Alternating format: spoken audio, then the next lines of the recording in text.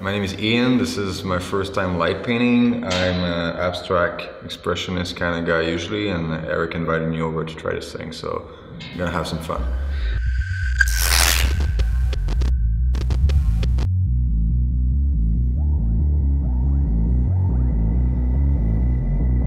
Any good art project will start with the gut feeling, the Dionysus part of everything. Music is absolutely necessary to everything that's creative. I, I, know my music enough now. I have certain songs that portray an emotion I need at a certain moment.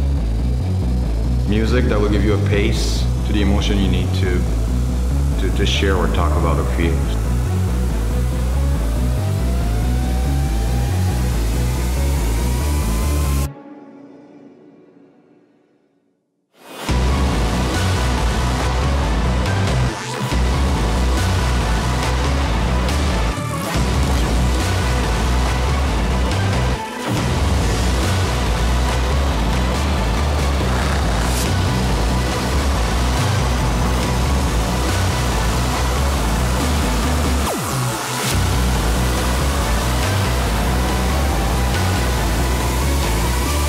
The moment I'm doing it is the important moment. Once it's done,